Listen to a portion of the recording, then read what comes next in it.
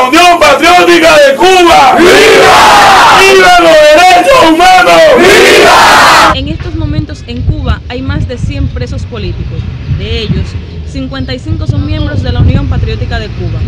Cabe resaltar el número de coordinadores que han sido encarcelados, entre los que resalta Víctor Campas Almenares, coordinador de Palma Soriano, provincia de Santiago de Cuba.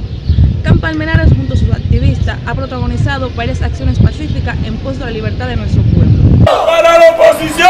¡Respeto! ¡Viva el pueblo de Cuba! ¡Viva! Por estas acciones ha sido detenido, multado y en estos momentos arbitrariamente.